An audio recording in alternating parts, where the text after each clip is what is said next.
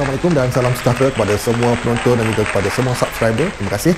Rendah menekan subscribe dan lonceng bagi yang belum, menyempurlah menekan. Baik, pada entry video kali ini ya, berkenaan dengan satu isu yang telah pun timbul ya tentang kemarahan dan kekecewaan rakyat ya. Ha, rakyat dan juga pencarum pada ketika ini ya.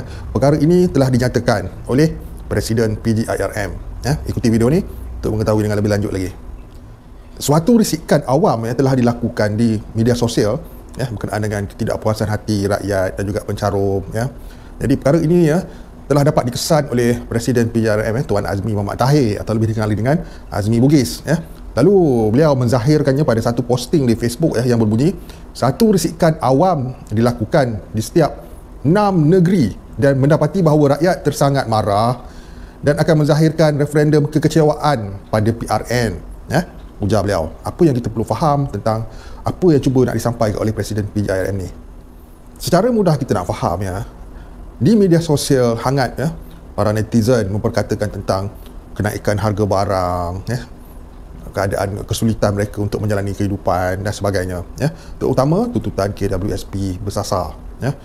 Hak mereka untuk mengeluarkan caruman seolah-olah dinafikan ya dengan berbagai-bagai inisiatif lain. Itu dia jadi daripada aspek pengeluaran KWSP bersasar ianya sikit sebenarnya. Tapi daripada aspek yang lain ya yang tidak melibatkan pengeluaran KWSP bersasar juga ya jelas kelihatan ya. Di setiap posting ya Tuan Azmi Muhammad Tahir uh, terlalu banyak komen ya yang menyatakan tentang kesulitan kesusahan dan kepayahan daripada berbagai-bagai sudut. Sama ada dari sudut ialah menyelesaikan hutang-hutang dan juga hal-hal lain ya. Jadi majoriti yang berkomen ini ialah mereka yang memerlukan pengeluaran KWSP bersasar dan ada sebahagiannya yang tidak memerlukan pengeluaran KRBS besar. Tapi apa yang nyata satu perkara, ya, kekecewaan sebenarnya, ya. Rakyat dan pencarum ni kecewa dengan apa yang berlaku sekarang ni, ya. Hak mereka, tak ada wang mereka dinafikan. Ha, jadi bagi NGO PJIR apa, segala komen yang diterima diambil, dibaca ya, dan diteliti ya oleh Presiden PJIRM. Ha, lalu keluar posting macam ni, ya. Jadi bagi enam negeri yang akan menjalani uh, pilihan raya negeri di media sosial mereka memang hangat memperkatakan tentang nak pangkah sana, nak pangkah sini eh, nak sokong sana, nak sokong sini dan sebagainya. Jadi dekat situ jelas ya sudah timbul kekecewaan sebenarnya. Marah tu tak sangat sebenarnya aku nampak daripada sudut kekecewaan ya dah mula kecewa. Marah tu memang biasalah ada orang nak marah. Tapi kecewa tu jelas terpampang eh, di mata uh, Presiden PGIM Tuan Azmi Muhammad Tahir ni ya. Jadi takkanlah kekecewaan ni nak dibiarkan begitu saja ya. Kekecewaan haruslah diubati sebenarnya. Ha, jadi eh rakyat Malaysia ni sebenarnya lebih yalah banyak yang betul ansur eh jadi masih lagi mendesak menuntut dan merayu agar pengeluaran wang mereka ni dipermudahkan ya. Ha, bukannya banyak pun ya. Mengikut data yang ada pada NGO PJRM 99,335 orang sahaja ya yang mahu yang menuntut pengeluaran KWSP bersasar ini. Itu dah. Ya. Jadi posting daripada Tuan Azmi ini kita perlu faham ya, ia merujuk kepada satu uh, kaji sidik tidak langsung ya, berdasarkan komen, berdasarkan apa situasi terkini di kalangan netizen. Ya. Ha, jadi netizen ni ialah citizen lah maksudnya. Cuma warga net. Warga net itu ialah warga negara lah. Ya, warga negara Malaysia yang uh, menyatakan kekecewaan mereka. Ya, jadi perkara ini telah dibiarkan berlarutan agak tidak baiklah ya untuk uh, kepimpinan yang ada sekarang kan.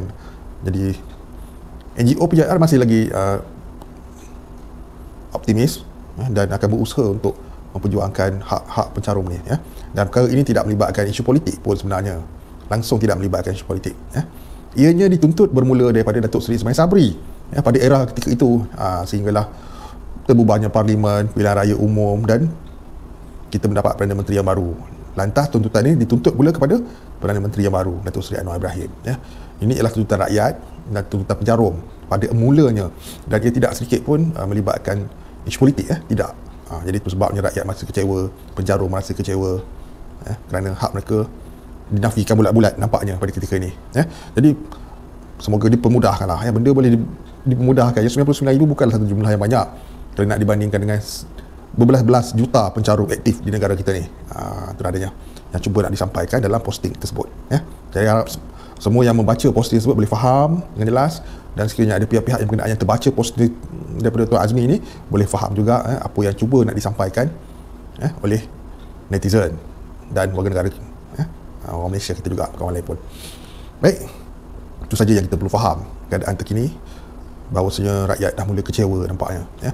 Walaupun ada penyokong yang tetap setia menyokong kepimpinan ya isu ni tidak melibatkan politik sokonglah mana pun. Tapi itulah pencarum yang terkesan ni pun bukanlah 99 ribu ni semuanya menyokong pada mana-mana pihak tidak. Malah ada yang menyokong kepimpinan yang ada juga. Uh, malah PJR sendiri pun tidak berpaksi pada mana-mana parti politik ya. Kami neutral sebenarnya ya. Uh, cuma memerlukan sokongan saja.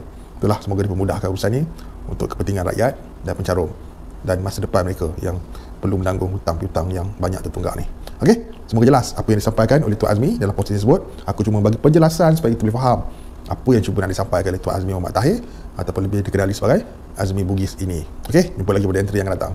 Assalamualaikum, salam sejahtera dan salam hormat semua. Bye bye.